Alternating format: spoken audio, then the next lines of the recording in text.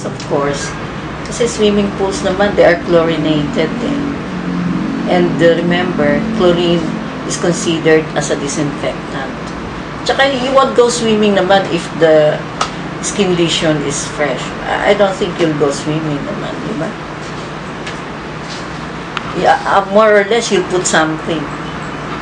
And then the chlorine itself naman eh. So, the, the risk of uh, spreading your fungal infection is very low because of the chlorination of the swimming pools.